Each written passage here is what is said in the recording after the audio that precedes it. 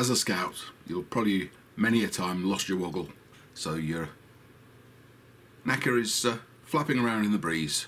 And uh, what we're going to do today is to show you how to tie a friendship knot.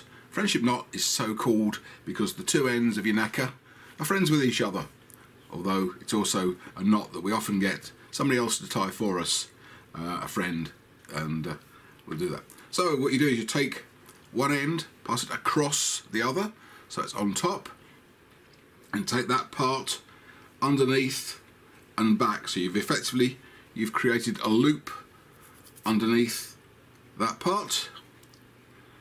And once we've done that, we then take this one, pass that over, that through the loop there, back through, and then tidy it up. And that is all there is to it. It's a fairly simple knot, but it's uh, fastened your neck together. So I'll do that again. What I'll do is I'll, I'll undo that and I'll uh, put the, uh, the camera in even closer so you can uh, see perhaps a little bit more clearly. So what I've done, that one over there, underneath, and then pulled it back. So you can see that this one here comes right the way through, and this one goes underneath and then loops back.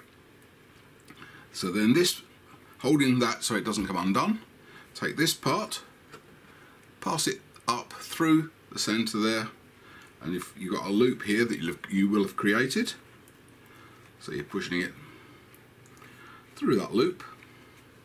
Can be a bit fiddly depending on your and if you've got edging on your your uh, stripes on your edge of your necker then it, it certainly is, is a little more difficult because they don't want to fold.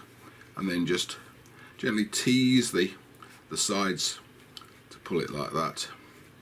And if you look there you'll see that that is a square. And there we have it a square knot. So hopefully we'll now see uh, of you with your, your necks flapping around. When you've lost your woggles you'll be able to do those